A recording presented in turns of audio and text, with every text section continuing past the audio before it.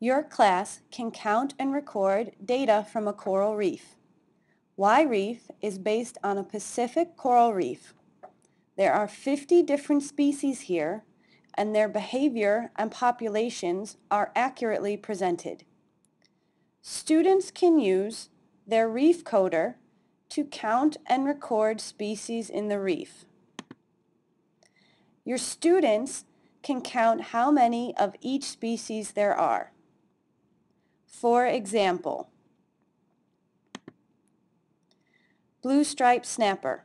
You have counted one blue striped snapper.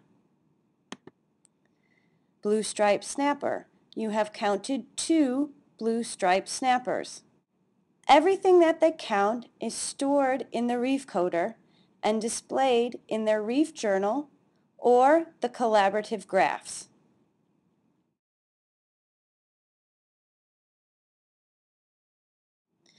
In the collaborative graphs, you can analyze the data you counted in the north or south reef.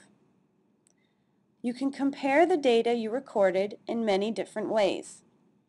You can group the data by category, where you can compare the populations of reptiles, mammals, plants, fish, and invertebrates. Or you can group the data by trophic level, where you can compare the populations of producers, herbivores, corals, carnivores, and omnivores. You can also see the best dive data or only your data. The best dive data shows the highest count for that day. Only my data shows what you have counted. Your students can track their progress over time and compare their data to the collaborative data.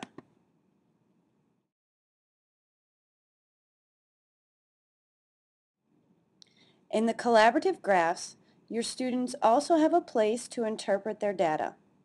The bulletin board system has many different questions prompting the students to think critically about the data they have collected. For example, the Analyze the Data Species Category question asks, What do you notice about the categories of animals? Why do you think there are so many species in some categories, fish for example, and so few in another category, like reptiles?